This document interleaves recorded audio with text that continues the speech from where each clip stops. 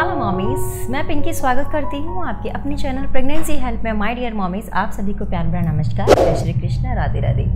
Dear mommies आज मैं आपको बताने वाली हूँ एक ही बहुत ही इंपॉर्टेंट टॉपिक पर आज हम डिस्कस करेंगे, जिसमें कि जो मेरी सिस्टर हैं, जो भी मॉमीज़ हैं, जो कि इस चैनल से जुड़ी हुई हैं और उनके बहुत सारे कमेंट आते हैं कि, मैम प्लीज़ एक इस टॉपिक पर भी वीडियो बनाइए कि अगर डिलीवरी के बाद घुटनों में दर्द होता है नीज पेन होता है, तब उस कंडीशन में क्या करना चाहिए? बहुत सारी ऐसी मदर होती हैं जिनका ठीक से खान पान नहीं हो पाता या बेबी बर्थ के बाद जो माँ होती है, उसका रख रखाव ठीक से नहीं होता, ठीक से उनका मीन्स खान पान नहीं हो पाता है प्रॉपर तरीके से केयर नहीं हो पाती है तो एक टाइम पीरियड ऐसा आ जाता है कि जो माएँ होती हैं, एक या दो महीने बाद या तीन महीने बाद बाद या साल साल भर तक जो माँ बहुत ज़्यादा परेशान होती हैं अपने नीज पेन के कारण। ठीक है तो बहुत सारे ऐसे कमेंट थे कि मैम मुझे डिलीवरी के सिक्स मंथ हो चुके हैं वन ईयर हो चुका है, लेकिन मेरा नीज पेन है, बढ़ता ही जा रहा है। मैं क्या करूँ? बहुत ज़्यादा परेशान हूँ। तो इस तरीके के बहुत सारे कमेंट मेरे पास थे। तो मैंने सोचा कि एक वीडियो कंप्लीट मैं इस टॉपिक पर बना देती हूँ, जिसमें कि आपके लिए ये बेनिफिट हो। ये उन सभी मदर के लिए यूज़फुल रहेगी जो अभी प्रेग्नेंट हैं। उनकी डिलीवरी होने वाली है, क्योंकि ये समस्या थोड़ी बहुत हर मदर को होती है, चाहे किसी को ज़्यादा हो, किसी को कम हो, ठीक है? तो इसमें हम बात करेंगे कि हमें जब हमारी प्रेगनेंसी के टाइम से ही हमें क्या क्या किन किन चीज़ों का मीन्स ध्यान रखना चाहिए और जब बेबी का जन्म हो जाता है तो स्पेशली किन किन आ, मतलब कौन सी चीज़ें हमें अप्लाई करनी चाहिए कौन सी चीज़ें बिल्कुल भी हमें नहीं करनी है तो इन सब बातों पर हम बात करेंगे ठीक है? तो सबसे पहले हम बात करते हैं कि देखिए नीज पेन होता क्यों जब आपका बेबी बर्थ नहीं होता है मीन्स प्रेगनेंसी से पहले आपको कोई प्रॉब्लम है नीज़ में प्रॉब्लम है सपोज़ आपको नीज़ में प्रॉब्लम है, या आप में, आपकी बॉडी में कैल्शियम की कमी है, या आपको घटिया से रिलेटेड कुछ प्रॉब्लम है या आर्थराइटिस कुछ भी ऐसी कुछ प्रॉब्लम है आपको प्रेगनेंसी से पहले तो प्रेगनेंसी की ड्यूरेशन में वो और बढ़ेगी, क्योंकि क्या होता है कि जैसे जैसे हमारा बेबी बम बढ़ता है, हमारा प्रेगनेंसी एडवांस होती है तो जो हमारी बॉडी का प्रेशर है, वो पूरा हमारे लेग्स पर पड़ता है, ठीक है? हमारे घुटनों पर पैरों पर पड़ता है। सामान्य मतलब नॉर्मल में तो हमारा जो नॉर्मल बॉडी होती है, उसका हमारे जो नीज़ है, हमारा वेट उठाते हैं। लेकिन प्रेगनेंसी में क्या होता है कि जस्ट डबल ट्रिपल वेट हमारा हो जाता है और उसका भार हमारे घुटनों पर पड़ता है, ठीक है?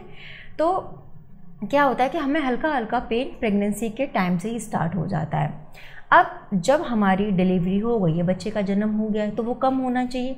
लेकिन क्या होता है कि वो डे बाय डे मंथ जैसे जैसे मंथ क्रॉस होते जाते हैं, वो और ज़्यादा हमारा पेन बढ़ता जाता है और इतनी कंडीशन वर्स्ट हो जाती है कि हमें चलने फिरने में बहुत दिक्कत होती है। स्पेशली जब हम स्टेयर्स पर चढ़ते हैं, तब दिक्कत होती है। तो अगर हम थोड़ा बहुत रनिंग का काम करते हैं तो हम रन नहीं कर पाते हैं। चलते चलते कभी पैरों में लच पड़ जाना या घुटनों में बहुत ज़्यादा क्रैम्प होना, दर्द होना तो ये बहुत ज़्यादा डिलीवरी के बाद माओ के लिए ये प्रॉब्लम खड़ी हो जाती है। तो इसमें आपको कुछ बातों का बेहद ध्यान रखना है, अपनी डाइट में, अपनी एक्सरसाइज में, सोने, किस तरीके से आपको सोना है, कैसे आपको अपना खान पान रखना है तो ये चीज़ें बहुत ज़्यादा मैटर करती हैं डिलीवरी के बाद। तो सबसे पहले आपको क्या करना है कि आपकी अगर डिलीवरी हो गई है और आपको नीज पेन कंटिन्यू बढ़ता जा रहा है तो आपको एक काम करना है कि आपको ये ध्यान रखना है कि डिलीवरी के बाद हमें बहुत ज़्यादा ठंडा नहीं खाना, क्योंकि ठंडा खाना हमारे पैरों, जो हमारे घुटनों हैं, उनके लिए बिल्कुल सही नहीं। अगर आप रेगुलर बहुत ज़्यादा ठंडा खा रहे हो तो ये आपके घुटनों में दर्द करेगा। ठीक है तो आपको क्या करना है कि बहुत ज़्यादा ठंडी चीज़ है मतलब आपको परहेज़ करना है। ये परहेज़ आपको दो तीन महीने करना है। और जैसे जैसे आपको आराम मिलता जाता है, वैसे वैसे फिर आप चीज़ों को कम कर सकती हैं, अपने तरीके से अपने खान पान को आप एडजस्ट कर सकती हैं। लेकिन जब आपको लग रहा है कि आपके पास कोई और उपाय नहीं है और आप क्या कर सकती हैं अपनी तरह से बेटर तो अपने खान पान का ध्यान रखिए। तो उसमें जैसा कि मैंने बताया, आपको डिलीवरी के बाद ठंडा बहुत ही कम खाना, बहुत ज़्यादा आपको ठंडा नहीं खाना अगर आपको नीज पेन है। जैसे बहुत ज़्यादा ठंडा पानी नहीं पीना, बहुत ज़्यादा ठंडी चीज़ें आपको नहीं खानी, अवॉइड करनी है। दूसरा खट्टा ठंडा और खट्टा भी हमारे नीज पेन के लिए कहीं ना कहीं जिम्मेदार होते हैं। तो डिलीवरी के बाद आपको इन चीज़ों को थोड़ा सा अवॉइड करके चलना है। थोड़ा सा परहेज़ करना है कि ठंडा और खट्टा आपको नहीं खाना। साथ ही साथ जब भी आप कुछ भी लिक्विड ले रहे हो, पानी पी रहे हो, कुछ भी पी रहे हो तो वो आप बैठ कर पिए। क्योंकि जैसे हम खड़े होकर पानी पीते हैं, जो भी लोग खड़े होकर पानी पीते हैं, उनका डाइजेशन तो ख़राब रहता ही रहता है। साथ ही साथ हमारे जो घुटने हैं, वो धीरे धीरे ख़राब होने लगते हैं, उनमें दर्द बढ़ने लगता है।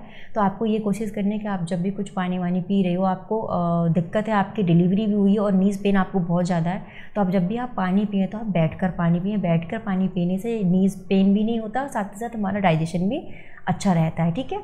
तो आपको ये भी करना है। इसके साथ आपको क्या करना है कि आप जितना भी हो सकता है डेयरी प्रोडक्ट लीजिए, आप कैल्शियम सप्लीमेंट लीजिए। आप कैल्शियम सप्लीमेंट जितना लोगे, आपके बोन्स उतने स्ट्रॉन्ग बनेंगे और आपके नीज भी अच्छे रहेंगे।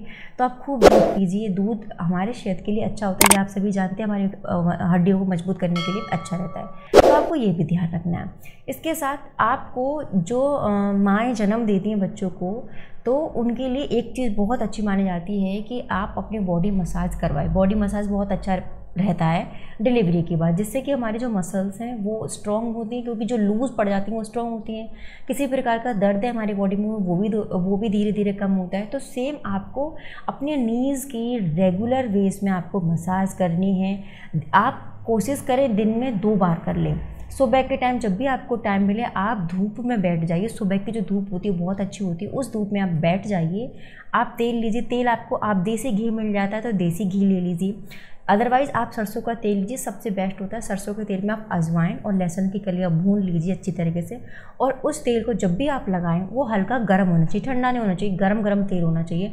और लेकर वो अपने अपने घुटनों पे अच्छे से मसाज करें। धूप में आप अपने पैरों को खोल लें और धूप में बैठ के अच्छे से अपने घुटनों की मसाज करें। Clockwise anti clock wise even आप नीज से लेकर पूरे आप अपने लेग्स की मसाज करते हो तो वो भी बहुत अच्छा रहता है।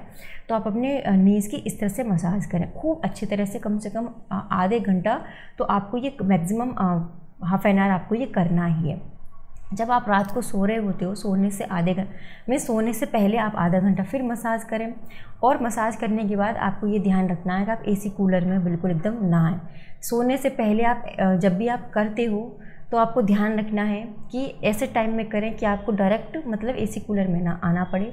और जब भी आप एसी या कूलर में सो रहे हो तो एकदम फ्रंट में बिल्कुल उसके सामने ना सोएँ और अपनी नीज़ को अच्छी तरह से नी पैड आते हैं नी पैड से या किसी भी दुपट्टे से या किसी से अच्छी तरह से कवर कर लें कि उनमें ठंड ना लगे। क्योंकि अगर आप मालिश करने के बाद जो हीट बनती है तो अगर आप एसी में चले गए तो वो आपको उल्टा नुकसान करेगा। तो एसी कूलर में ना सो आप फ़ैन यूज़ कर सकते हैं फ़ैन में कोई प्रॉब्लम नहीं होगी इतनी बट आप एसी कूलर अवॉइड करें। अगर आप अपनी नीज़ की मसाज कर रहे हो तो, तो आपको ये भी ध्यान रखना है। इसके अलावा आपको एक्सरसाइज कौन कौन सी करनी है?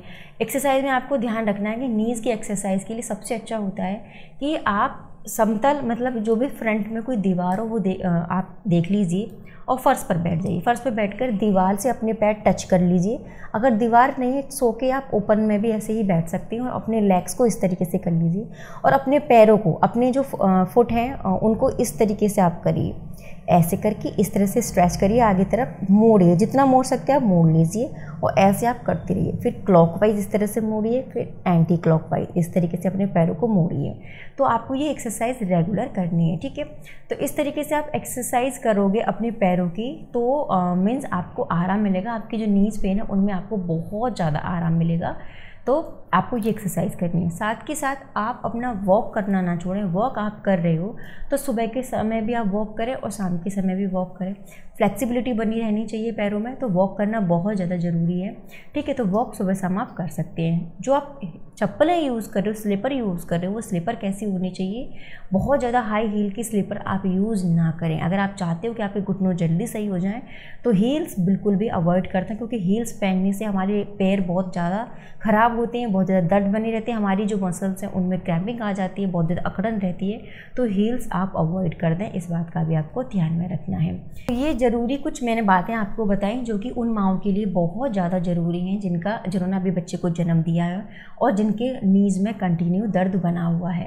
तो आप बिल्कुल परेशान मत होइए, आप इन बातों को, जो भी मैंने आपको बातें बताई हैं, उनको फॉलो करिए, अपने डाइट को स्ट्रॉन्ग बनाइए, लेकिन ठंडा खट्टे का आपको ध्यान में रखना है।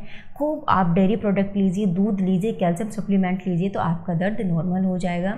नहाते समय आप क्या करें, नहाते समय स्पेशली थोड़ा सा गर्म पानी लें और गर्म पानी को अपने घुटनों पर अच्छे से डालें। एक एक मग भरें और अपने घुटनों पर धार से डालें तो उससे भी आपके घुटनों के दर्द में बहुत ज़्यादा राहत मिलेगी। और भी बहुत सारी एक्सरसाइज होती हैं बट आप नॉर्मल इतना ही कर लो, ये भी आपके नीज पेन में आपको बहुत ज़्यादा आराम देंगी, ठीक है? तो माई डियर मॉमीज प्लीज़ जो भी ये मैंने आपको बातें बताई हैं, आप उनको कंटिन्यू रेगुलरली फॉलो करते हो तो आपको बहुत हद तक आराम मिल जाएगा। लेकिन आपको सिवियर नीज पेन है, बहुत ज़्यादा कि आप हिल भी नहीं पा रहे हो तो ऐसी कंडीशन में आपको मैं यही सजेशन दूँगी कि प्लीज़ एक बार आप डॉक्टर से ज़रूर चेकअप करवा लीजिए, ठीक है?